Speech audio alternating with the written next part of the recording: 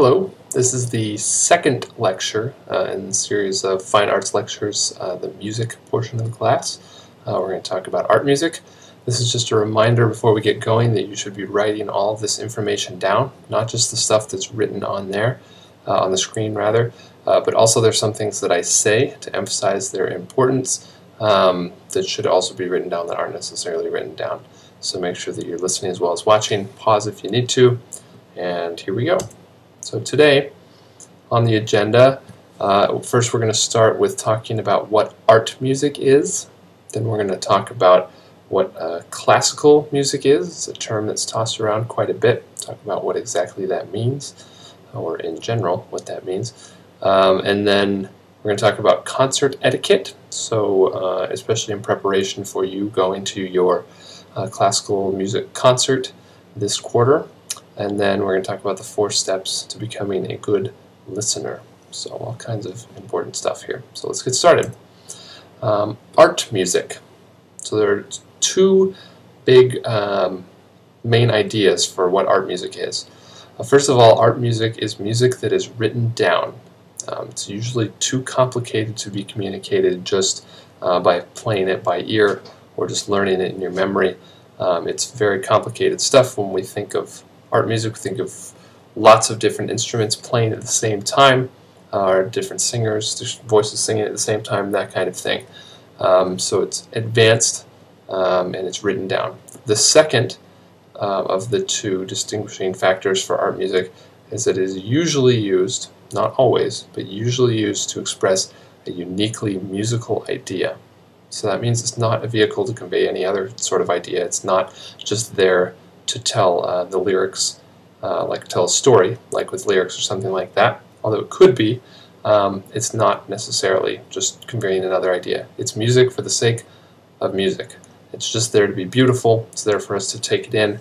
It's there to make you feel something uh, and sort of touch you in an artistic way, in much the same way that uh, visual art is sometimes. Much visual art is not meant to tell a story. It's just there to be gorgeous, meant to be appreciated. So. Why are we talking about art music? We're talking about art music because classical music, or what we call classical music, um, is art music. It has been written down um, and is often music for the sake of being music. It's not used for uh, necessarily for anything else. It's not just pop music or something. Um, so yeah, classical music, what we call it is Western art music, meaning uh, sort of European-based um, art music from the 9th century uh, to present day. I say 9th century because that's when uh, the music started to be written down. Before that, it was all transmitted orally. So that's that. Classical music is art music. Okay, going on. So let's talk about concerts. Um, for this class, you're going to have to, uh, as part of your grade, go to a classical music concert of some sort. Remember to see me or Miss Capito uh, to check and make sure whatever concert you want to see is going to be appropriate for class. Um, when you go to a classical music concert, it's different than going to a pop music concert. There's sort of different uh, traditions and sort of um, expectations for how people are supposed to uh, behave. Um, these aren't things that um, I'm personally uh, very happy with necessarily, or that anyone is. It's just the way that it is. That's the way there are certain ways people are expected to behave, so I just want to let you know what those are. So, um, the first thing you should know uh, is before you go to a classical music concert, uh, you're expected to be prepared. Um, that's, I guess, the same as most people um, when they go to a pop music concert, they probably listen to the tracks from whatever group they're seeing uh, beforehand. Similarly, if you're going to go to a concert, once you figure out what that is, make sure um, to do some homework beforehand. You know, figure it out. Go uh, search online a little bit, find something about the history of the composer, the composition. Is there anything unique uh, or special about the, com uh, the, compositions that you're going to hear? Uh, maybe the group that you're going to hear, anything like that. Um, if there's a conductor, remember the conductor is the person that stands in front uh, of a group, usually an orchestra, maybe a choir, something like that. So if there is a conductor, uh, his or her gestures um, indicate important musical events. We're going to talk about more the, talk more about the conductor uh, later, but um, just watch that person, if there is one, um, to just sort of get an idea of what's going on. Um, also observe how the musicians communicate with each other, and I mean communication uh, in a non-verbal way, uh, the way that they use body language maybe, or um, uh, eye contact, or any of those kinds of things. There's a lot going on there uh, if you're paying attention, so I encourage you to do that. Um, listen for changes in mood, texture, volume, or anything else, uh, even if you're not uh, a seasoned classical music listener, um, just listen for changes. Listen for what is different. Okay? Uh, listen for what's the same and what's different as the piece moves on. So, okay. Um, so there are lots of different types of settings over the years um, where classical, what we call classical music, um, has been heard uh, and enjoyed. Uh, it's heard in living rooms. It's heard in my living room sometimes and other friends' living rooms, churches, concert halls, classrooms, subway stations, street corners, parks, lots of other places. Um, I think it's important to know that it's not only performed in concert halls and it's not only performed by orchestras. Um, classical music is performed in many, many, many places, but um, the uh, place that you're most likely for this class, I'm guessing, to see a concert is going to be in a sort of more traditional um, concert hall setting. So, in the old days, um, a few centuries ago, as, as uh, soon as the 1800s and earlier, um, people used to go to what are considered classical music concerts. They would yell, they would dance, they would boo, they even throw things.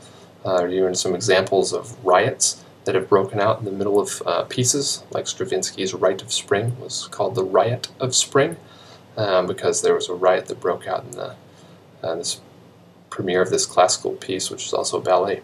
Crazy stuff. Used to get pretty nuts, uh, but today um, there are certain, for better or worse, expectations for how people are meant to behave.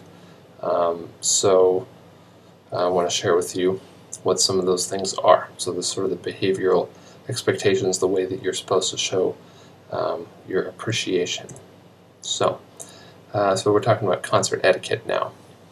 Uh, first one is, um, unlike back in the old days, in the 1800s and before, um, you're expected to not talk um, or whisper during the performance at all. Um, that the idea behind that is that um, you're not distracting the other people around you from enjoying the music, and you're also not distracting the performers uh, from the music. Believe it or not, even if you're sitting very far away uh, in a very quiet concert hall, if you're whispering or talking, it's noticeable to the people that are performing. So, um, applause is supposed to be at sort of certain uh, times. The first of that is when the conductor or the soloist or both walk onto the stage, um, and then at the end of an entire composition. So that means you're not supposed to uh, applaud between what are called movements, and we'll talk about those more later. Um, hopefully before you go to your concert. Um, so movements are little chunks of a big composition, um, but you're supposed to wait till the very end to applaud for the whole thing. Uh, if you're late, uh, depending on where you go to your concert, you probably won't be able to sit down until um, the uh, composition that is being played is finished. So that means sometimes if there's a long composition, something that's, let's say 20 minutes, 40 minutes, if you show up late, um, you're going to have to wait a long time to sit down, so make sure that you come on time. That's uh, pretty important. So, uh, more about concert etiquette.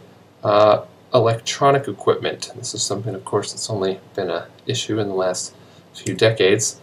Um, make sure to double check that your cell phone is off and then triple check to make sure that your cell phone is off.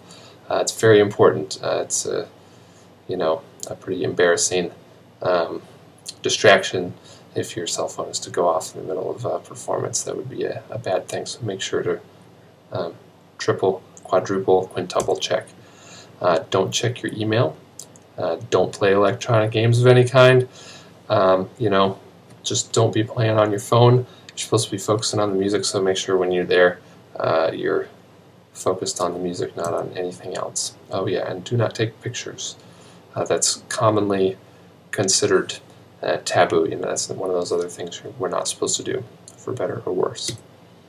Okay, Um, so the four steps to becoming a good listener. This is the last part of uh, the lecture for today.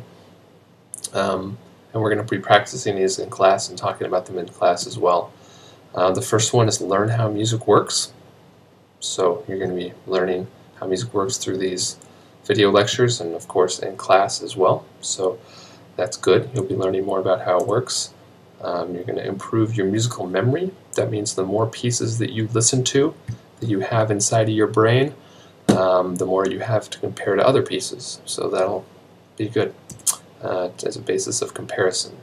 Um, number three is focus solely on the music. So focused listening. We are, I think, today, in today's day and age of cell phones and YouTube and Facebook and all that other kind of stuff, and we're used to such constant stimulus that um, this is kind of a hard one for a lot of people um, to sit down and just listen to music uh, without any other distractions. I know it's hard for me to do. Uh, it's a challenge, but it's something that I think that everybody should work on. Listening is an important skill. Uh, and then the last one of the four steps to becoming a good listener is practice listening, which we talked about in the last video as well. So that means practice that kind of focused music that we we're talking about with number three.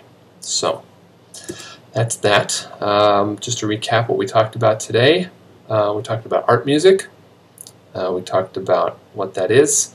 Uh, we talked about a little bit of the history of classical music um, and how people behave at concerts, how they used to behave, and how uh, everyone is sort of expected to behave in sort of concert hall settings like the Chicago Symphony Orchestra or something. And then we talked briefly about the four steps to becoming a good listener. So if you missed any of that stuff, make sure you rewind, get it all written down, uh, and that's that. Uh, now go practice listening to your favorite music. All right, I'll see you next time.